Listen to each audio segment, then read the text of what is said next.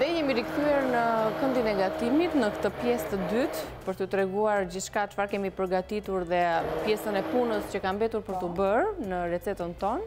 Zonja Vjuca ka sjellë në tryezë supën të parën, supën me po. vitamin C, sepse po. ka speca, ka hudhra, ka xhinxher, ka spec djegës. Po. Na ka mbetur dhe 2-3 përbërës të cilët hidhen pas kthimit pure. Bëjmë edhe një yll këtu me këtë djathin kaçkavall të butë që kemi. Vendosim këtu një lugë, një lugë e gjysmë, pure patate. Mhm. Ose, dy patate të vogla, mund t'i kaurdisni menjëherë, me qepën dhe me... Me qepën, hudhrën, xhinxherin? Pikërisht, pra për ta trashur pak, për t'i dhënë pak. Bravo. Më te për... Uh, Tani këtu na tepruan ca djathra, ha? Edhe Morëm të shkrin, që që ajo supa është nëzirë. Dhe kjo ishte pjesë e dekorit. Hedhim edhe pak një lugë nga djathri që shkrin këtu. Dhe mbaruam punë me djathin. Njafton. Së bashku dhe me kurin. Se, ato që do të përdorim për dekor dy feta djathi për mhm. ta dekoruar, do të hedhim vetëm një lugë nga djathi i grirë. Ato që nuk do ta dekorojnë, mund ta dekorojnë me diçka tjetër. Mhm. Atëherë do të hedhim dy lugë gjelle djathë nga djathi kaçkavall i butë. Tani hedhim këtu tre lugë gjelle pana. Edhe mund ta e mbusha shumë, se unë nuk e po- mbusha aq shumë. Po mirë, se do të ishte ajo direkt pa e bërë. Mund ta vendosësh lugën brenda se nuk do përdoret më ajo aty. Fiks. Po. Kështu që jemi në rregull. E shijojmë për kripë. Hm, nuk i hedhim piper, kurse do i hedhim në pjatë. Mhm. Vetë. Dhe këtu supa përfundoi. Mund ta vendosim vetëm të lutem për të fuskuar pak ndoshta. Të hedhim një çik Këto se mos më digjet vaji. Hej, kaloj unë pak. Këtu kam vendosur... Kam vendosur vaj ulliri, dy lugë gjelle. Do të hedh këtu edhe një thelb hudhër. E largova hudhrën dhe do të vendos kungujt. Thamë që temperatura për skuqjen ose përgatitjen e tyre duhet të jetë shumë e ulët. Po, më duket që më kalon automatik. Po, shko e hap, unë jam e lëmë këtë që mos na bjerë. Po. Ndërkohë, këtu hudhrën që kishim lënë këtu mund ta hedhim edhe këtë dhe në seksion? Jo, jo, kam, do vazhdoj, jo, kam punë prapë me të. Pra, supa tani është një supë kremoze, ashtu siç e dëshiroja unë vetë. Dhe si duhet të jetë? Që mos jetë, të jetë e pranishme për të gjitha moshat, si për të rritur, faleminderit, ra prapë se duhet ta ul një moment njërën unë prej këtyre. Mhm. Shko, Shko të hapim po. prapë. Na ndodh në shtëpi kur hapim më shumë se 2-3. Okej. Okay. Ndeze? Po. Jo, nuk ndeze. Ndërkohë, Shumë mirë, faleminderit. Jemi fiks në momentin ndoshta për t'i dhënë edhe një valë tjetër apo për po, ta servirur që të tregojmë dhe një herë përbërësit? Sa të flluskojë pak dhe menjëherë jemi të gatshëm që ta servirim. Ndërkohë kam vendosur edhe makaronat për t'u zier. Mhm. Ky lloj makaroni do që të ziejë 14 minuta. Mhm. Në secilën pako, ju e keni të shkruar po, minutazhin që makaronat duan për t'u zier. Dhe që duhet respektuar. Gjithsesi kur ato shoqërohen me një salcë apo perime apo, do t'i lëmë një minutë mangut ose 2 minuta që të kalojë pastaj. Vetëm sa të flluskojë pak, se ka rënë automati dhe do një çikë kohë, apo? Që të ngrohet. Të lutem një këtë kapakun, t'ia vendosim kungull, kungullit dhe kungullin e presim në këtë formë. Ja. Hollë, hollë. Nuk ka fare, pothuajse fare. Ja.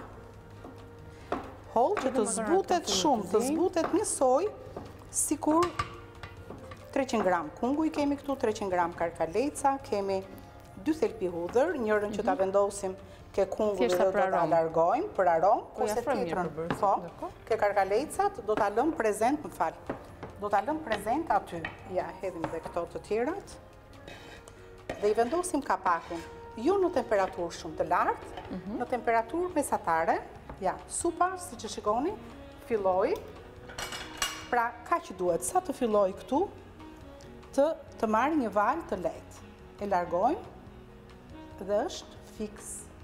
Niki mund ta provosh pak për shije, po. të lutem, Do ta servirim tani bashkë me po. duke treguar sigurisht edhe koston, mhm. edhe përbërësit sepse besoj se do të ketë interes të madh, duke po. qenë se është komplet me vitaminë C. A duhet? Specat? A duhet më kripë? Absolutisht paska një shije fantastike. A shikon pra? Mm. Që ia vlen të gatuhet? Shumë shumë e mirë. E lëmë këtu dhe pak fare dhe jemi gati për ta servirur. Edhe për fëmijët, dhe me thënë i ka të gjitha përbërësit në sasinë e duhur, zonja Vilca. Vjen shumë pak në atë shijen e specit djegës, po pak pikant, sa për lezet kur i themi. Kostoja për 4 persona, po shihni vazhdimisht koston në ekran, është 350 lek, shënoni përbërësit. E servirim. Ideale për të zëvendësuar shumë mirë supat e zakonshme që amvisat përgatisin në tryezat e tyre. Mund t'i referohen shumë mirë kësaj supe, do ta gjeni vazhdimisht edhe në portalin tonë Balkan Web në Youtube kudo, për t'i referuar dhe për ta gatuar e japim edhe si këshillë përveçse si sugjerim. Po, tani do të vendosim këtu. Djathin, dërko? Djathin, ja. Unë nuk doja që të shkrijë dhe do doja që t'i bëja foto. Po t'ia bësh foto. Moment, që mos na shkrijë djathi, po të duken këto yjet. Po. Ja. Shumë e bukur, ja. Sa të zhyten ato e kemi bërë foton. Ato fillojnë e shkrijnë gradualisht. Sigurisht. Atëherë shiko, kungulli fillon e bëhet transparent. atje në pjesën e poshtme dhe nuk duhet ta lejojmë që të na marrë ngjyrë, mhm. se unë nuk e dua kungullin të ngjyrosur, e dua jakë shumë. të zbutet, po, me ngjyrën që ka. Ta siguron vetëm një temperaturë e ulët, normale. Një temperaturë mesatare, i trazojmë dhe makaronat herë pas here, mhm. shumë mirë janë. I largojmë edhe këto. Kemi mbaruar me pjesën më të madhe. Po. Tani këto janë përbërësit pra të recetës. Ajo pjesa tjetër bëhet për 2 minuta. Pikërisht, shoqërimi. Karkalecat duan shumë pak. Thjesht kanë këtë ngjyrë pak të errët. Në momentin që ne do t'i gatuajmë, do të marrin një ngjyrë portokalli. Për të treguar pastaj dhe faktin që ato janë gati, janë skuqur, janë përgatitur, do të shoqërojnë makaronat Garofalo që janë Kemi zgjedhur këtë makaronën tub, pak të gjerë, mesatarisht të gjerë, se ka dhe më të gjerë se aq, që përdoret zakonisht për mbushje, por një gamë e madhe e llojeve të ndryshme të Garofalos, sigurisht që është edhe në stendën tonë.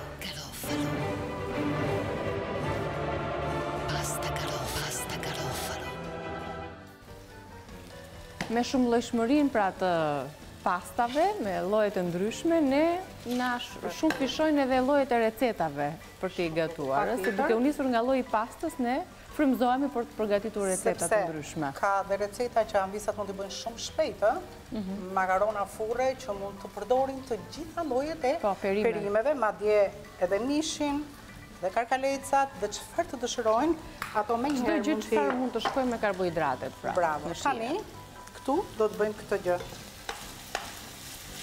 Kur disi pak u zbutën, do po, te një përmbledhje tani të përbërësve... Do t'i vendosim më parë mhm. pak kripë. Po, përbërësit duhet t'i themi dhe një herë, mhm. për amvisat. Dhe kalojmë pastaj tek materiali që kemi përgatitur. Makaronat pra me kungull dhe karkaleca. Përgatisim, thotë, treqind e njëzet gram makarona garofalo, këto në formë tubi, treqind gram karkaleca, treqind e pesëdhjetë gram kungull të njomë, dy thelpinj hudhër, pak piper pikant, pak majdanoz, vaj ulliri dhe kripë. Atëhere, në tiganin me pak vaj, do të hedh atë hudhrën që është aty. Këtë hudhër e kishe rezervuar pikërisht pra për këtë recetë?